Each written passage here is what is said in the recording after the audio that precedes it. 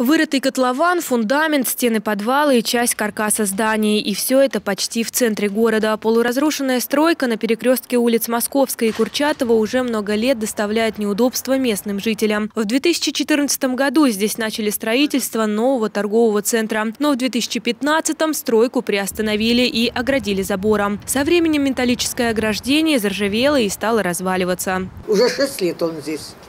Ну, надо какие-то меры принимать. Уже, на, уже язык у всех устал говорить. Уже деньги вложены, конечно, жалко, но не знаю, что не планируют здесь строить. Здесь магазин строит, он не к месту, магазин вообще.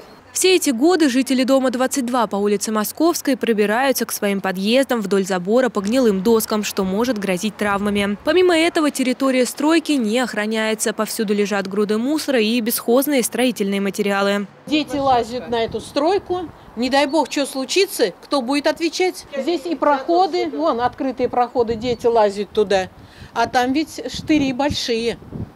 Только детей гоняешь и внуков. Жильцы многоэтажки не единожды обращались в Думу и администрацию с просьбой ликвидировать последствия замороженной стройки, убрать забор и привести территорию в порядок. В начале года депутаты рассмотрели вопрос на одном из заседаний комитетов. Тогда народным избранникам доложили, разрешения на строительство объекта нет, срок договора аренды истек. В связи со смертью одного из собственников необходимо было уладить вопросы наследования. Вопрос должен был решиться на уровне области еще в январе. Там там было три э, владельца. Один владелец умирает, и э, сейчас решаются наследственные дела.